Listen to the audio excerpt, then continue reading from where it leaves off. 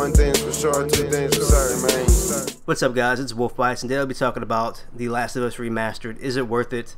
And I think totally yes, it is worth it. Now, I've played this game on the PlayStation 3. I enjoyed it thoroughly. I thought it was an awesome game. It's one of the best single player experiences I've probably had in the last couple of years. Uh, if you have a PlayStation 3 and you don't have a PS4 yet, definitely pick it up. It's it's it's a great addition to your collection. If you have a PlayStation 4 and you've played it on PS3, then I definitely say it's worth picking up again. It's it's it's such a great story, man, and it looks amazing. It looks beautiful on the PS4. You can't deny it, and you get all the DLC and all the other stuff for free. I mean, not really for free, but you get it for 50 bucks, everything a total package. Now, this game came under fire uh, a, a little while ago when it was announced uh, saying that it's not really worth the, the $50 price tag, maybe a $30 price tag, or it's still fairly new. Why is it coming out with another version so soon?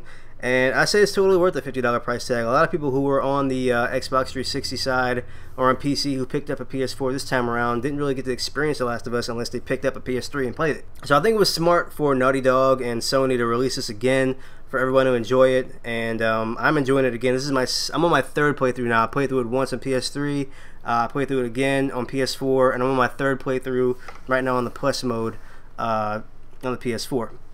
Uh, I'm also enjoying the multiplayer. I never really played much on the the uh, PS3. I, this really didn't, didn't, interest me. I didn't have people to play with. But this time around, man, it's it's really fun. It's really addicting. It's brutal. It's it's just it's a good uh, multiplayer experience. It's not perfect, but it's definitely fun, and uh, it'll definitely uh, catch your attention if you want to play it for a little while.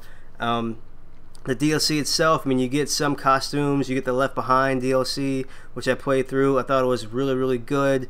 I would have wished that they would have come up with some more stories, you know, maybe a story with, uh, you know, Joel and Tess and their experiences together, or maybe a story with Joel and his brother, see what kind of bad blood was between them, was between them back in the day. You know, I thought that would have been pretty cool.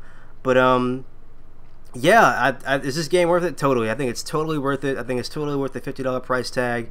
If you have a PS4, definitely add it to your collection. It's beautiful. You won't regret it. I'm telling you, it's such an awesome game. Great multiplayer, great single player, great DLC.